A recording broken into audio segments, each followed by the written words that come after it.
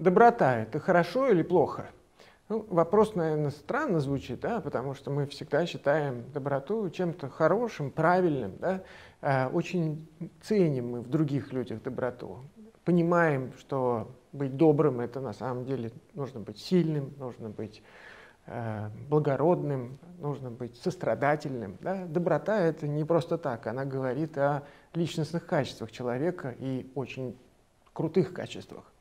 Но ведь с добротой могут возникнуть и проблемы, потому что, с одной стороны, доброта может быть непрошенной. Да? И когда вам что-то делают из добрых побуждений, а вам от этого худо, э, то такая доброта, конечно, это не самое хорошее.